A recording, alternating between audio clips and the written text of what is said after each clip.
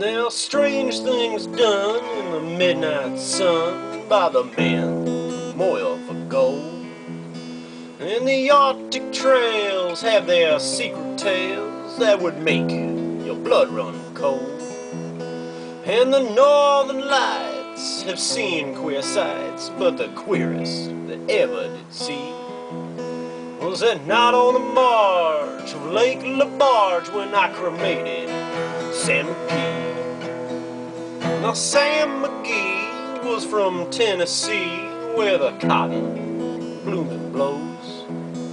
Why he left his home around the south to roam around the pole, God only knows. He was always cold, but the land of gold seemed to hold him like a spell.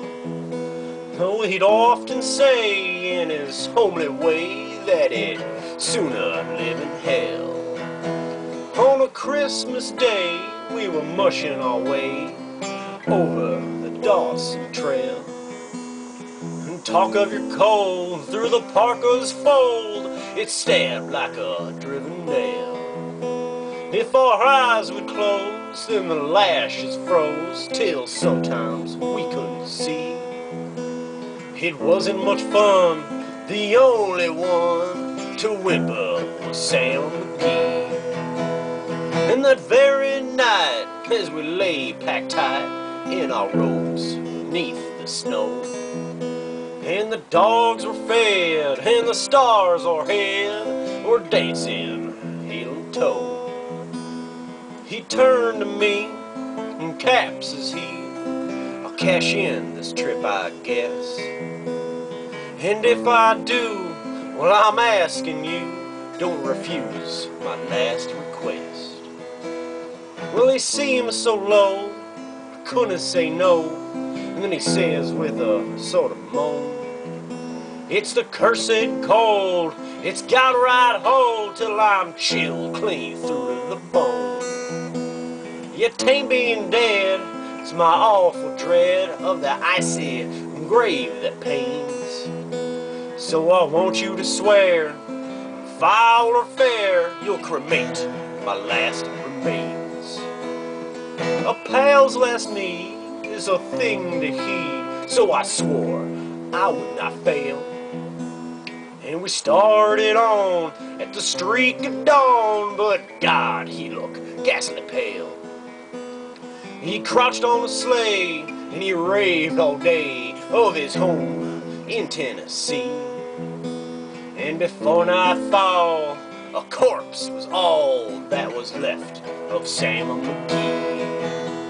There wasn't a breath in that land of death, and I hurried, horror driven, with a corpse half hid that I couldn't get rid because of a promise given. He was lashed to the sleigh, and it seemed to say, You may tax your brawn and brains, but you promised true, and it's up to you to cremate these last remains. Now a promise made is a debt unpaid, and the trail has its own stone cold. In the days to come, though my lips were numb, and my heart, how I cursed that load. In the long, long night, by the lone firelight, while the huskies around in a ring, howled out their woes to the homeless snows. Oh God, how I loathe the thing. And every day, that quiet clay seemed to heavy and heavier grow. And on I went, though the dogs were spent, and the grub was getting low. The trail was bad, and I felt half mad, but I swore I'd not give in. And I'd often sing to the hateful thing, and it a grin. Till I came to the marge of Lake Lebarge, under derelict there lay. It was jammed in the ice, but I saw in a trice it was called the Alice May. I looked at it, thought a bit, and I looked at my frozen chum. And here I said with a sudden cry is my crematorium.